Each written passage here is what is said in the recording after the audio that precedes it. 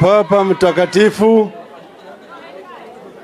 maaskofu yote ambayo amefika hapa siku ya leo, waumini wote ambayo amefika, Wakristo, hamjambo? Bwana Yesu asifiwe. God is good and all the times.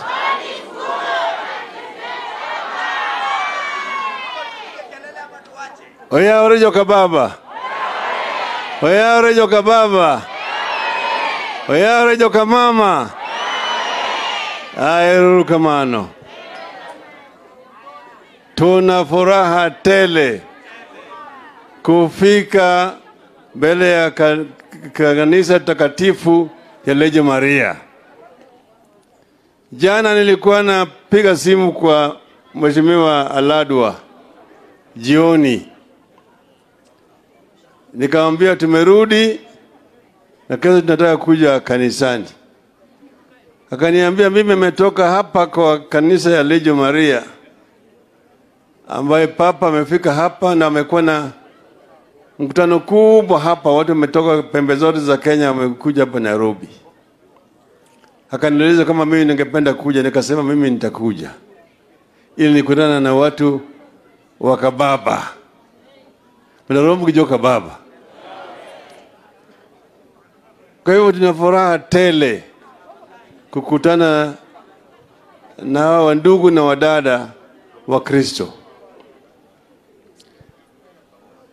Mzee wangu Jaramogi Oginga Odinga alikuwa mmoja wa kwanza kabisa wafuasi wa dini ya Leje Maria, na yeye na mwanzilishi wa kanisa hii walikuwa ni kama pete na chanda kwa urafiki, na kanisa ya lejo Maria imefanya mambo mengi zaidi Kenya mzima, kuunganisha watu, kuleta watu kwa njia ya maadili na kumcha Mungu.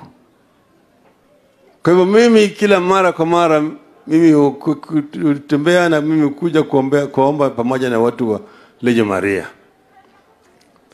Nimefika mpaka Jerusalem, Amoyo huko, nimefika mpaka kwa Dukweru huko, hata kule Nzoia, kila mahali. Sasa leo hii nimekuja kuombea na nyinyi, kuomba na nyinyi, na tena mimi nimefurahi sana, manake mmenijivisha. Sasa mimi niko kama kardinali.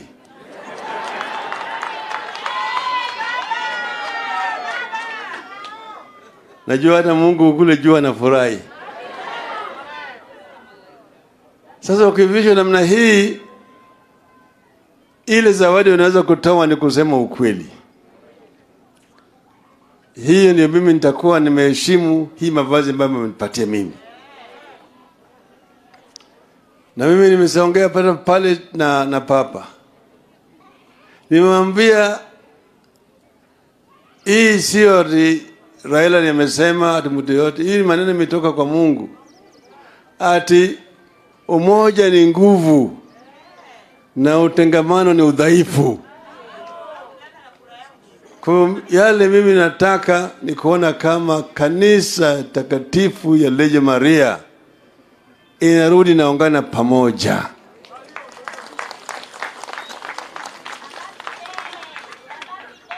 Mimi sasa kuona kama kuna mvurutano hapa, kuna ugomvi, saa ingine watu wanapigana pali takatifu kama kule Godkwer, na ipo kubwa sana.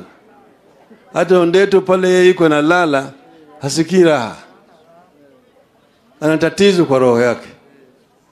Kwa hivyo sisi tunataka kumpatia yeye amani pale yeye iko, alale vizuri. Na mimi nimesema mimi niko tayari kutumia uwezo wangu pale mimi niko kuleta kundi hii na kundi hii pamoja, Eleji Maria, tuketi chini tu, tusumuze pamoja. Nchi hii yetu ilikuwa imegawanyika, ilikuwa ma- maandamano kila wiki, tumesusia bidhaa ya kampuni fulani fulani, na maandamano kila mara, risasi. Kuna wakati ingine sisi tulikwenda kule kwa ligi ndogo tukiwa na majeneza thelathini na nane mauti ambayo walikuwa wamepigwa risasi. Tukaenda kule kwa city mortuary tukawa na maiti ishirini na saba huko. Wengine wakasema kama mbaya ni mbaya, tukua kama Somalia. Hata ramani zingine zilikuwa zimechorwa, ingine Republic of Kenya, ingine People's Democratic Republic of Kenya. Sasa ilikuwa Kenya inaenda kusambaratika. Ndio sababu tukaona tusichunguze kwanza. Mimi tayari tulikuwa tumeshaenda Uhuru Park, nikachukua kiapo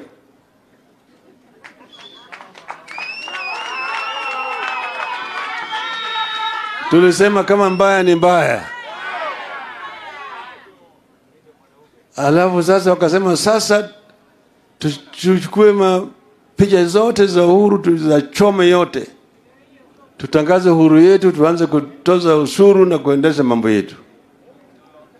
Upande mwingine, Uhuru akaambiwa Raila amezini, ile kitendo ambayo amefanya ni treason, tumshike, tumpeleke mahakamani, tumshtaki, tumeende tukapeleka kamiti, tukamnyonge maisha ikwishi. Uhuru akasema ah, hapana.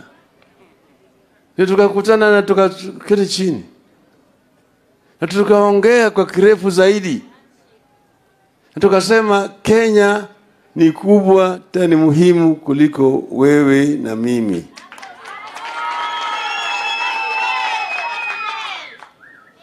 Kwa hiyo tukasema kwa niaba ya Wakenya na Kenya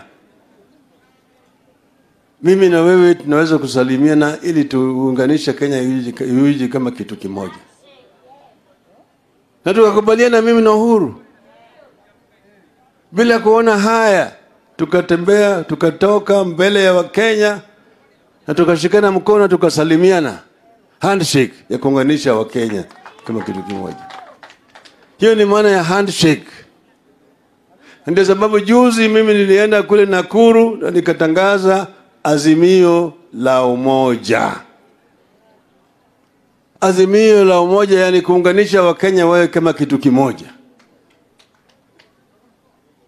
Tujiepushe na ubaguzi ya kikabila, ubaguzi ya rangi, ubaguzi ya dini, ubaguzi ya jinsia.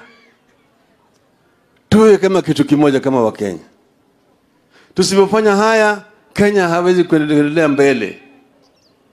Ndio sababu waanzilishi wa taifa letu walisema kwa muhimu zaidi, kwanza, Mungu bariki nchi yetu ya Kenya, haki iwe ngao na mlinzi, tugae na undugu, amani na uhuru, raha tupate na ustawi. Hiyo raha na ustawi itakuja kama tumeishi pamoja kwa undugu. Tumeheshimiana. Na kama eh, haki inakuwa ngao na mlinzi, ndio tunaweza kupata raha na ustawi katika taifa letu. Hiyo ndio Wakenya wanataka. Wakenya wote wanataka kuona amani, kuona ustawi, kuona maendeleo pale ambapo wanaishi lakini hatujaweza kufanya hayo kwa sababu hatujakuwa tumeungana pamoja. ni sababu tunasema chanzo mpaka iwe umoja ya Wakenya wawe kama kitu kimoja. Hiyo ndio mimi na, na, na, naendesha siku hizi, na kwa sababu mimi kitaifa naendesha mambo sera ya umoja ya Wakenya, nataka hapa tena nione vilevile umoja ya wafuasi wa kanisa takatifu ya Lejo Maria. Tumekubaliana, tumekubaliana. Leo tumesema hatusemi siasa kwa kanisa, siasa huko nje, tutapiga siasa huko nje. Lakini juzi mimi nilitangaza ati nataka kuona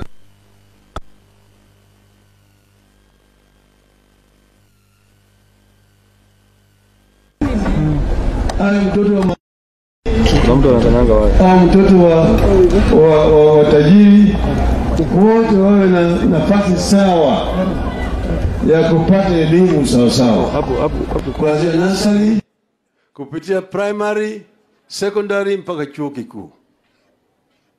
Na akizafuzu apewe vile vile nafasi ya kupata masomo maalum.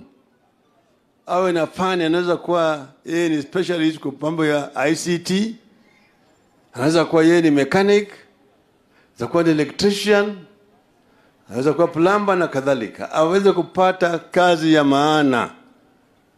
Na kazi ya maana tutakuwa tu nazo ikiwa kama tutakuwa tumejenga viwanda katika taifa letu. Sio ati kazi ni kazi. Mimi sitaki kupatia vijana wilbaro. Nashukuru wilbaro. Tunataka kazi wa maana kwa vijana wetu hiyo ndio tutaweza kupigana na ufukara na umaskini na njaa ambayo iko katika taifa letu. Lakini kabla hatujafika kule tunatambua ya kwamba kuna watu hapa katika taifa letu ambaye hawana. Wengine hawana chakula wengine wanalala njaa.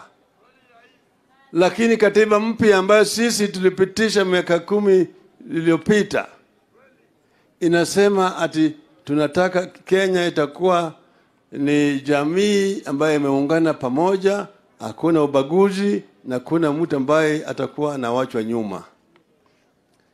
Hiyo iko katika katiba yetu. Kenya shall be a social welfare state by implication. Na social welfare state inaangalia watu maskini.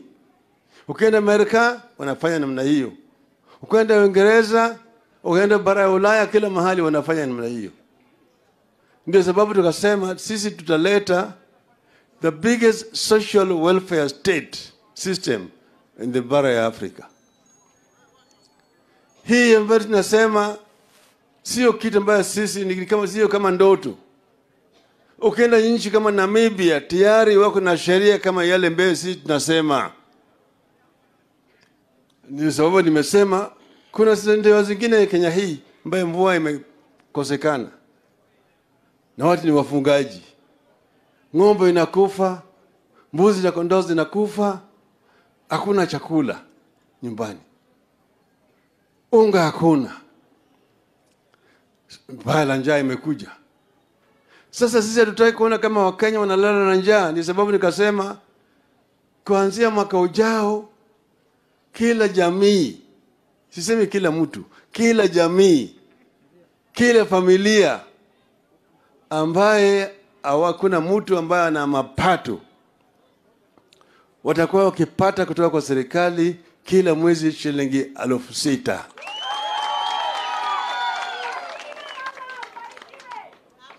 Wanasema yo, hiyo ni mzaha, hiyo ni mzaha, hiyo ni porojo, hiyo ni siasa. Nasema hapana, si siasa.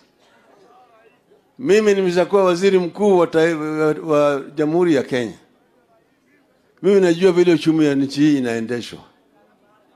Kwa hivyo mimi siwezi kuongea tu hivyo hivyo. Mimi najua pale pesa iko.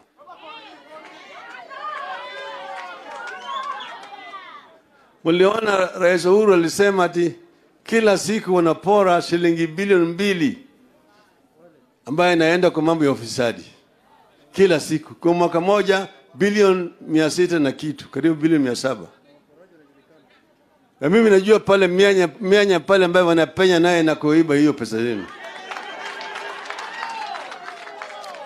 Nitaziba zile mashimo zote, nitapata pesa ya kutosha ya kulipa, kulipa Wakenya.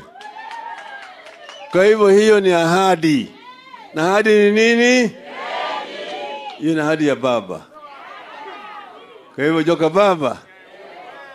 Wale joka baba. Oyawore joka mama. Erokamano ahinya adwa ni mondo udhi nyime maber ahinya